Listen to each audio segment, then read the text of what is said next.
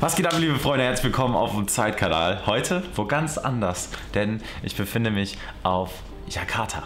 Jakarta. Wie spricht man es aus? Keine Ahnung. Auf jeden Fall in Indonesien. Ganz entspannt, locker flockig. Ich bin mit Mats hier hingeflogen. Aktuell befinde ich mich in Quarantäne auf Jakarta. Heißt, ich muss noch ein paar Tage hier auf dem Hotelzimmer bleiben. Aber bald bin ich raus. Und falls ihr mehr sehen wollt und das Ganze mitverfolgen wollt, liebe Freunde, folgt mir auf Instagram. Der Link ist unten in der Beschreibung. Und ich würde sagen, wir gehen direkt rein in die Reaction. Denn Leni Marie hat ein... Ähm, Video hochgeladen. Meine geschätzte Kollegin Leni.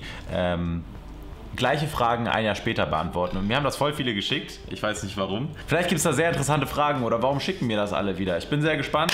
Wir gehen rein ins Video, liebe Freunde. Ich würde sagen, wir schnackeln, fackeln nicht lang rum. Let's go. Disclaimer, sorry, dass das Video erst jetzt kommt, obwohl es am 21.01. online kommen sollte. Habe es nicht früher geschafft. Wie heißt du? Boah, habe ich mich erschrocken. Hä? Was denn? Muss ich mal Heil sagen. Achso, ups. Doch mal gleich. Hey Leutings, ich hoffe es geht euch allen gut. Herzlich willkommen zurück zu einem neuen Video von mir. Ähm, wenn ihr das Video heute seht, ist heute ein ganz besonderer Tag, denn heute ist mein Geburtstag. Ich bin finally 17 geworden. Alles Gute nachträglich, herzlichen Glückwunsch. Machen Sie es gut. Vicky ist, glaube ich, hinter der Kamera. Vicky stellt die Fragen. Mögen wir? Sind wir gespannt? Und ähm, ich habe mir ja letztes Jahr vor... Nice. Und ich habe mir letztes Jahr vorgenommen, jedes Jahr an meinem Geburtstag ein Video hochzuladen, wo ich dieselben Fragen beantworte. Und das ist eine Reihe, die wir von Billie Eilish geklaut haben und die wir jetzt jedes Jahr ähm, weiterführen. Und ja, heute beantworte ich zum ersten Mal wieder die Fragen vom letzten Jahr. Und ich würde mal sagen, wir fangen mal an. Ich bin sehr gespannt, was sich alles geändert hat. Und ja, let's go. Wie heißt du? Ich heiße Lena Marie. Oder Leni Marie. Hm. Jo, das ist ja auch so eine Frage, die wird sich halt jedes Jahr ändern. Obwohl, stimmt, wenn man heiratet, dann heißt man. Nee, obwohl, sie hat ihren Nachnamen nicht gesagt.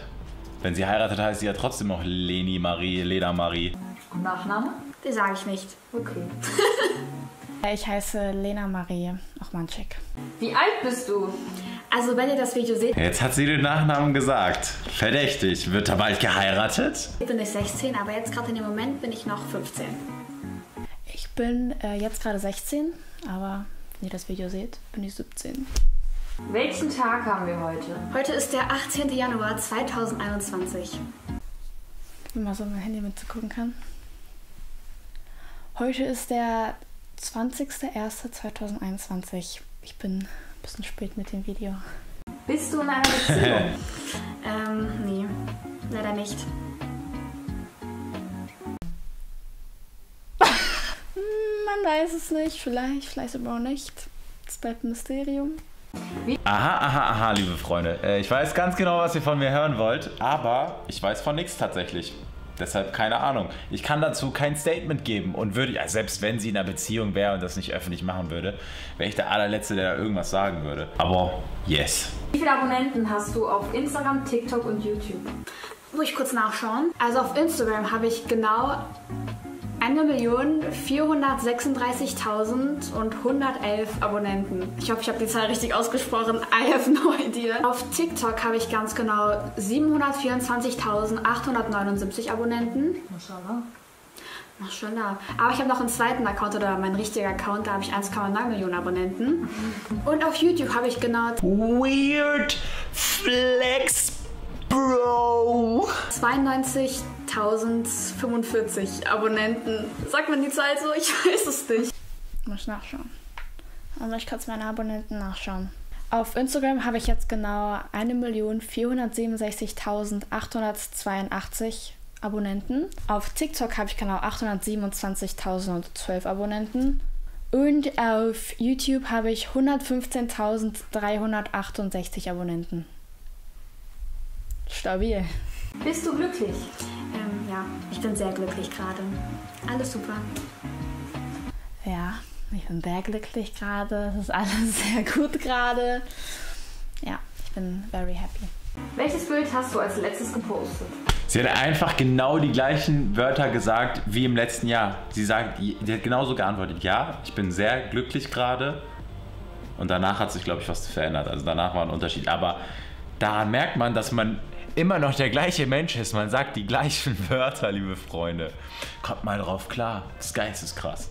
Müssen wir erstmal auf der Zunge zergehen lassen. Ja, das blende ich hier ein.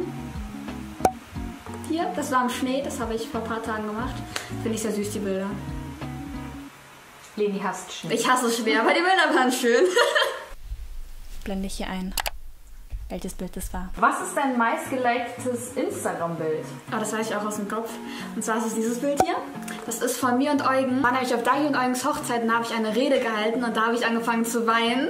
Weil ich bin richtig sensibel und ich, ich so, okay, ich darf nicht weinen, ich darf nicht weinen. Ich sag so die ersten Worte, ich habe direkt angefangen zu flimmen. Und da hat jemand einen Schnappschuss, Schnaps, Ein Schnappschuss. Einen Schnappschuss von gemacht, wie Eugen mich getröstet hat. Es hat 313.000 Likes. Also, mein meistgelikedes Instagram-Bild ist gleich geblieben vom letzten Jahr. Also von auch wie davor, wie es immer war. Aber ich kann ja mal einblenden, was mein meistgelikedes Bild von letztem Jahr war. Ich habe vergessen, wo man das sieht. So, wo man das sieht? Warte, Insights. Äh. Ich blende euch jetzt das Bild ein hier, welches letztes Jahr am meisten Likes hatte. Und zwar hat es genau 171.233 Likes. Welches Video hast du zuletzt auf YouTube hochgeladen? Ähm, das ist das What I Eat in a Week, Ferien Edition. Zuletzt auf YouTube hochgeladen habe ich das Zeig uns, wo ich euch wieder ein paar Sachen von mir gezeigt habe, Part 2. In welche Klasse gehst du? Ich gehe gerade in die 10. Klasse. Ich gehe jetzt in die 11. Klasse. Boah, ist auch so eine Frage, ne? In welche Klasse gehst du? Wenn das. Da verändert sich halt auch nur was, wenn man sitzen bleibt. So, ich gehe gerade in die 10. Klasse. Logisch geht man dann im Jahr drauf. Hoffentlich, wenn alles gut läuft, in die 11. Klasse. Das ist ja. Ja. In die EF, in die Einführungsphase heißt es bei uns. Ja, und ist chillig da. Ich mag's da. Das sind nette Leute. Natürlich ein bisschen anderer Lerndruck, aber sonst ist nice. Welches Wort benutzt du am meisten? Warte. Boah, ich muss überlegen, ob ich das vielleicht sogar hinkriege. Vielleicht Brew. B-R-U-H, aber glaube ich nicht mal. Das hat sie aber schon relativ oft immer gesagt. Digga vielleicht? Digga sagt Leni auch oft. Fällt mir gerade auf. Digga sagt Leni oft. Ich sage sehr oft Alter. Alter, stimmt. das was. Alter auch. Oder Digger sage ich auch oft. Das ist eigentlich gar nicht gut. Ich sage Digger. Was sage ich noch oft? Ich schreibe sehr oft, ich kann nicht mehr, wenn ich lachen muss. Ich sage sehr oft Alter. Ich sage sehr oft Digger. Was sage ich noch oft? Man weiß es nicht. Genau, ich sag, ich mache sehr oft so, mm, man weiß es nicht, bruh. Ich sage richtig Oh mein Gott. Oh mein Gott. Ich habe einfach. Ich bin einfach gut. Obwohl wir uns jetzt 2021. Ich, doch, wir haben uns 2021 schon gesehen. Doch, stimmt. Ähm, aber davor, die letzten Jahre, also die letzten Monate, letztes Jahr, da hatte ich so viel zu tun. Und wir haben uns auch kaum gesehen, also wirklich 0,0. Aber some people, you know how they are. bruh, das ist gar nicht mein neues Lieblingswort. Ja, ich glaube, das sage ich so am meisten. Gar nicht so gut eigentlich. Was ist dein aktuelles Lieblingslied? Okay, das kann ich, glaube ich, nicht beantworten. Das kann ich nicht beantworten. Ich weiß nicht mal, was mein aktuelles Lieblingslied ist. Nee, nee. Drivers License? Driver's License? Nee, das nicht. Ich mag das Lied sehr gerne, aber es ist mein Lieblingssong. Ähm, ich glaube, überall von Celine. Das mag ich voll gerne. Ist echt ein guter, guter Song. Mein Lieblingslied momentan ist Flugangst von 40. Das ist wirklich, ah, das ist so ein schöner Song. Ich liebe den einfach. Was sind deine Lieblingsklamotten? Meine Lieblingsklamotten, die ich momentan am liebsten trage, ähm, auf jeden Fall meine Jordans, ähm, die schwarz-weißen. Blende ich mal ein Bild ein. Diesen Pulli mag ich mega gerne, der ist von Fear of God und ich mag, ich liebe diesen Schnitt. Ich habe mir noch einen in schwarz bestellt. Die haben so nice Sachen. Ich überlege gerade wegen Schuhen. Aber ich weiß es nicht. Welche Schuhe habe ich denn viel beobachtet bei ihr jetzt? Über Stories und so. Boah, waren auf jeden Fall keine Jordans, oder? Doch Jordans? Die, die hellblauen Jordans vielleicht? Keine Ahnung. Mag ich mega gerne. Ja, das war's. Meine Favorite Klamotten sind Jordans an sich. Amenakoi-Karpfen, warum denn? Habe ich halt gerade keinen Bock drauf. Yes, thank you very much. Bye bye. Krass, Alter. Die haben einfach angerufen, um zu fragen, ob ich irgendwas brauche, obwohl ich äh, mich nicht gemeldet habe. Und ich brauche halt nur Papier zum Scheiße. Papier zum Scheiße und ein wenig, ähm, was habe ich noch gesagt? Ah ja, Towels, ähm, like Handtücher, liebe Freunde. Hm, wichtig. Aber bringen die mir das jetzt direkt, Alter, habe ich jetzt auch keinen Bock, gleich nochmal aufzustehen. Ich bin einfach echt faul, Alter. In so einer Quarantäne ist man einfach faul. Ich liebe Jordans. Äh. Ich glaube, ich habe gerade nicht so ein Favorite-Klamotten-Teil an sich, aber so, ich liebe Schuhe, ich liebe Jordans. Ja, sonst halt immer Hoodie so. Oder, oder, oder Zip-Hoodies. Ich mag Zip-Hoodies richtig gerne. Ich glaube, ich habe letztes Jahr so eine Love für Zip-Hoodies entdeckt. Was ist dein Lieblingsessen? Ich glaube Pommes. Pommes ist so all-time favorite. Pommes geht einfach immer. Am besten sind die Mc's Pommes. Lieblingsessen Pommes. All-time favorite, Leute, ihr wisst es. es Hä? Sie sagt einfach genau das gleiche wie letztes Jahr. Ich finde das ein bisschen krass sogar. Also, dass sie, sie sagt genau die gleichen Wörter. All-time favorite, das geht immer. Hä? Wie? immer. Mc's Pommes, Standard, sind. Oh. Doch, es sind, Mc's Pommes sind einfach die besten. Ohne Punkt und Komma. Komma. Sagt man das so? Und Sushi. Oh. Sushi, Tempura Sushi. Schon mächtig, sehr mächtig. Was hat dich letztes Jahr glücklich gemacht? Das habe ich letztes Jahr glücklich gemacht. Ähm, ich glaube viele Dinge. Also der Urlaub auf Ibiza hat mich sehr glücklich gemacht. Das war sehr, sehr schön da. Ähm, insgesamt hatte ich einfach letztes Jahr eigentlich eine ganz schöne Zeit. Ich habe viele neue Leute kennengelernt, viele neue Freundschaften geschlossen und ja, das hat mich sehr happy gemacht. Letztes Jahr glücklich gemacht haben wir sehr viele Dinge. Zum Beispiel, dass Nelio jetzt da ist. Aber auch sehr viele private Dinge in meinem privaten Leben, die mich sehr glücklich gemacht haben. Mich hat sehr vieles glücklich gemacht. 2021 war ein sehr, sehr Ich bin auch ein Teil davon. Ich habe Leni auch glücklich gemacht letztes Jahr. War das letztes Jahr? Ja, ne? Doch, letztes Jahr. Doch, wir hatten schon so eine Phase, wo wir. Ich glaube, das waren Lenis Ferien. In Lenis Ferien waren wir, haben wir es voll geschafft, uns öfter zu treffen. Das war richtig chillig. Wir waren Basketball spielen und so. Also, ähm, das war auf jeden Fall witzig. Es hat mir auch Spaß gemacht. Bin ich euch ja ehrlich. Soll ich meine Kamera eigentlich ein bisschen tiefer stellen? Ja, ne? Mache ich jetzt mal. Oh. gutes Jahr für mich. Auf jeden Fall. Bereust du was? Nee, also ich bin sowieso so ein Mensch, der keine Sachen bereut, weil ich denke mir so, im Endeffekt lernt man ja daraus.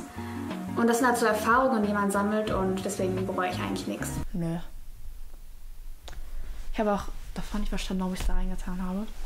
Ich verstehe gar nicht, warum ich es da reingetan habe, weil eigentlich bereue ich nie was. Also ich denke mir immer so, alles passiert aus irgendeinem Grund und vielleicht verstehe ich es nicht heute, aber vielleicht in zehn Tagen oder... Das ist aber schon ein geiles Format irgendwie. Also es sind verhältnismäßig langweilige Fragen. Also es sind so Fragen, die so, ja, die so wie Lieblingsessen und so. Das ist halt, das verändert sich nicht zwingend jedes Jahr. Ne? Das sind so Sachen, die sich nicht zwingend jedes Jahr verändern.